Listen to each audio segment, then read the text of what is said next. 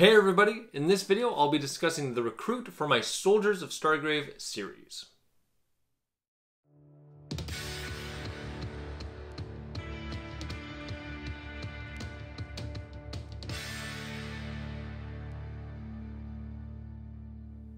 Hey everybody, I'm Alan with Bricks and Blocks Gaming, tabletop gaming with bricks and blocks and helping to build your gameplay experience.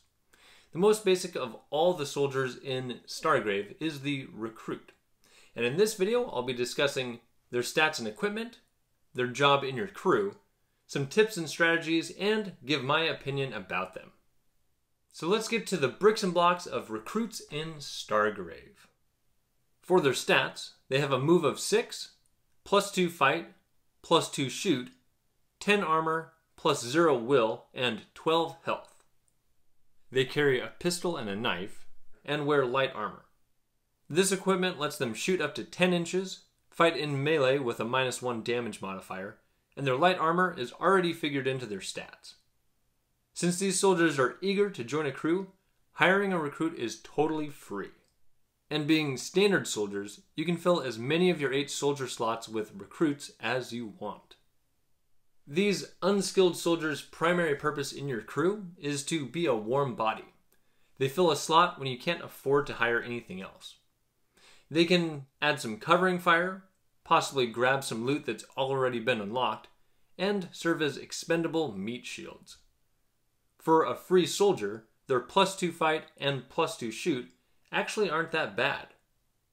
Most specialist soldiers only have a fight of plus 3, so recruits stand a decent chance of winning if they end up in melee combat. And if they lose, oh well. And their shoot of plus 2 also isn't terrible. And since it doesn't take much to stun a target, a good roll can create a threat to even higher level captains.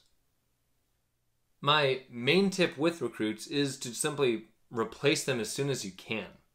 And one suggestion for this, if they haven't actually died in combat, is to use the same figure even if it doesn't quite look the part of their new job. For narrative purposes, this can represent the recruit finding their place in your squad. I especially like doing this based on something memorable the recruit did, like upgrading them to a sniper if they landed a critical shot, or making them a case cracker or code breaker if they happen to unlock a loot token.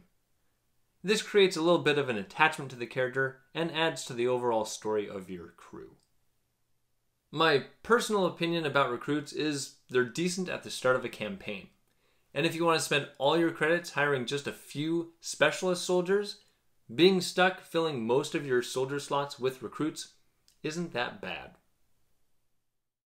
If you're enjoying this content, be sure to subscribe and hit the notification bell so you won't miss a video and let me and the community know in the comments below your thoughts about recruits in Stargrave.